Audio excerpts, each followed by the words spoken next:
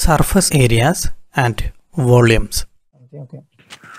Welcome back to my YouTube channel. In the last lesson, we started chapter number 13, surface areas and volumes. In this lesson, we'll discuss two questions from exercise 13.1, question number 1 and question number 2.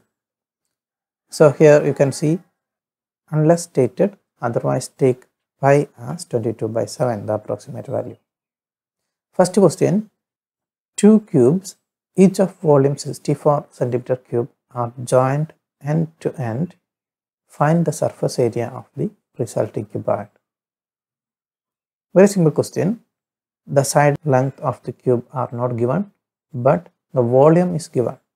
So first you have to do the reverse step to find out the edge, one side of the cube.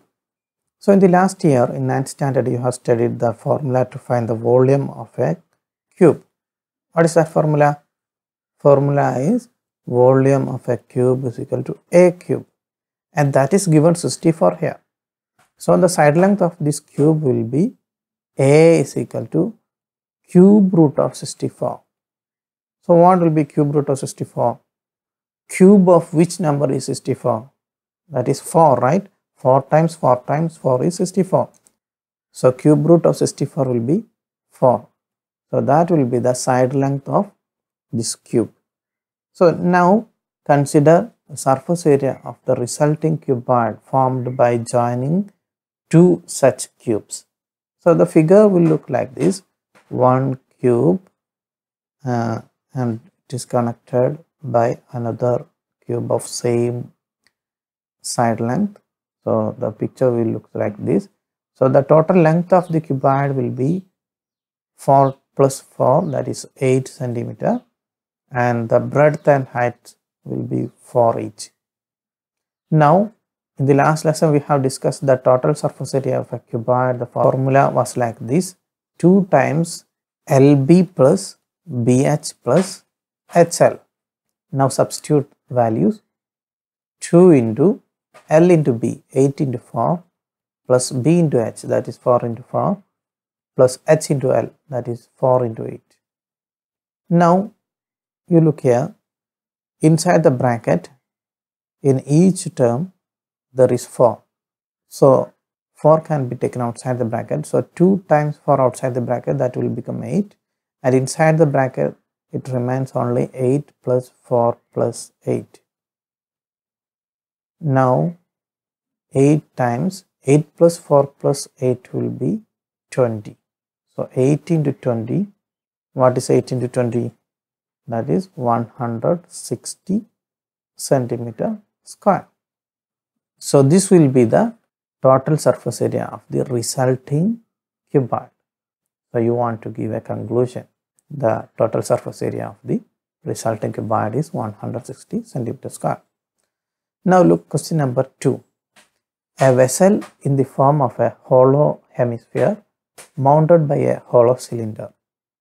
The diameter of the hemisphere is 14 centimeter and the total height of the vessel is 13 centimeter. Find the inner surface area of the vessel. So when you get questions like this, first you want to read the question twice or thrice and understand the question very well and draw a rough figure.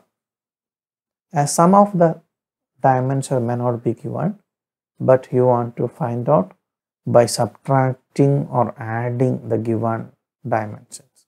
So just answer the question by drawing the figure first.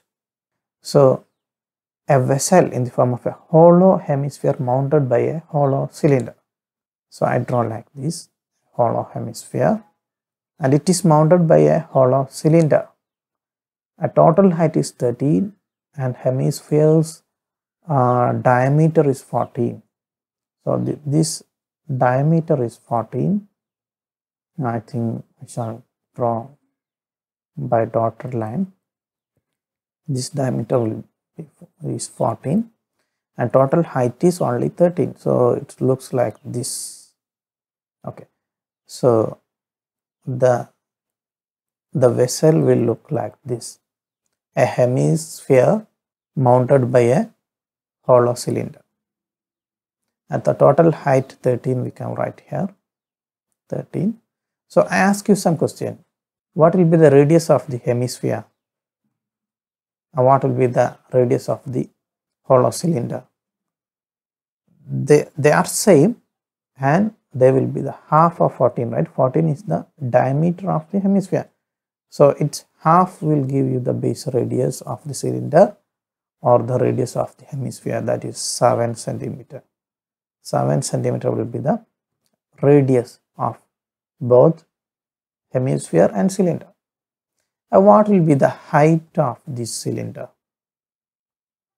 So you look here, uh, I draw one radius of the hemisphere here. It will be again 7, right? And the total height is 13. So the balance height, that is the height of the cylinder will be 13 minus 7, right? What is 13 minus 7? That is 6, right? 6 centimeter. So we got all the measurements we need to apply in our formulas. Now we can just make some relation between the areas of these uh, figures to find the area of the combination of these figures. That's the vessel. So in the question it is told to find the inner surface area. So here we should assume that the inner surface area and the outer surface areas of this particular figure will be same. So the inner surface area of the vessel will be how can we make the relation? It will be the sum of the curved surface area of these two basic 3D figures, right? That is curved surface area of hemisphere of hemisphere plus curved surface area of cylinder right? So we apply the formulas. For the hemisphere the curved surface area will be 2 pi r square. And for the cylinder the curved surface area is 2 pi r h here you can take 2 pi r outside the bracket. So 2 pi r times r plus h will come. And now apply values. So 2 times for pi we can substitute 22 by 7 22 by 7 times r the radius is 7 and inside the bracket r plus h that is 7 plus height of the cylinder. That is 6 now the 7 can be cancelled from the numerator and denominator and remains 44 times inside the bracket 7 plus 6 that is 13 so multiplying this we will get 572 centimeter square. That will be the inner surface area of the given vessel. Before we wind up just look at this answer once again in the first question two cubes are joined to form a cuboid. Their side length are not given, but the volume of one such a cube is given. So we, we do some reverse step. If volume is given to find the side length, you just take the cube root of the volume, so you will get the side length as 4. So the figure will look like this, a cuboid by joining two same cubes. Here length, breadth and height can be found because the side length of the cube is 4. Then apply the formula total surface area of the cuboid 2 times LB plus BH plus HL.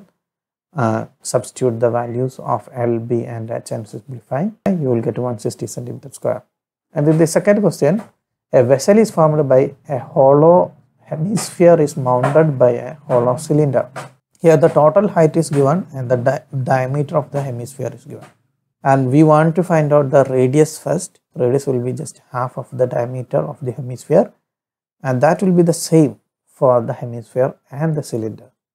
And the total height is 13 so the height of the cylinder will be the total height of the vessel minus the radius of the hemisphere.